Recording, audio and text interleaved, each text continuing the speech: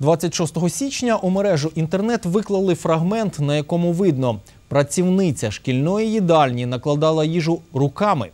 Інформація швидко розповсюдилась. Наступного дня на неї відреагували представники області. Жінку звільнили, а через тиждень представників місцевого самоврядування запросили на нараду, що присвячена питанням шкільного харчування. Як пройшло засідання, дивіться далі. На порядку денному єдине питання, яким є стан шкільного харчування зараз та як його можна покращити. Аналізували галузь на підставі доповідей представників Держспоживслужби. Як зазначає директор департаменту освіти і науки Дніпро ОДА Олексій Полторацький, проблем вистачає.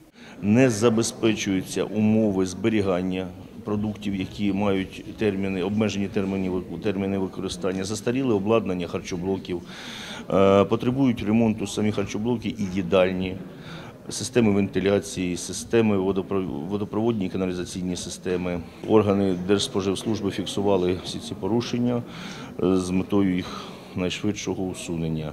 Питанню харчування у школах в цьому році багато уваги і з боку міської ради, і з боку обласної. І місто, і регіон намагаються зробити гарячу їжу в школах смачною та корисною. Але через різний механізм фінансування виходить так, що в опорних школах в цілому ситуація краще. Наприклад, вартість однієї порції у школах Софіївської ОТГ складає 12 гривень, в той час як у школах Дніпра 7, хоча меню в них подібне. Його складають на основі рекомендацій Міністерства охорони здоров'я.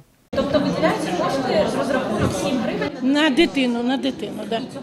Да, вистачає. Ми працюємо по програмі Прозорі, і у нас навіть бувають фонди економії. На сьогоднішній день у нас по Софійській об'єднаній територіальній громаді 12 гривень на одну дитину. В дитячих садках частково сплачує, е, сплачують батьки, частково сплачуємо ми, а для е, перших і четвертих класів це безкоштовне харчування, всі інші, які 5, 6, 7, за рахунок коштів е, батьків. Дніпропетровська обласна державна адміністрація покроково намагається покращити якість харчування у навчальних закладах. У зв'язку з останніми подіями перший заступник голови Дніпроода Олег Кужман зазначив, впродовж місяця спеціальна комісія перевірить стан їдалень у школах. Таким чином, чиновники мають на меті скласти більш реалістичну картину того, що відбувається з харчуванням насправді. Система харчування взагалі не відповідає сьогодні всім загальнодержавним нормам. Всі заклади освіти будуть перевірені на відповідність е, законодавства щодо харчування. Всі доручення надані. Через місяць ми проконтролюємо цю ситуацію і будуть жорстко покарані е, всі організації, які не виконали ці умови. Аліна Елівцірова, Дмитро Большак. Новини 9 каналу.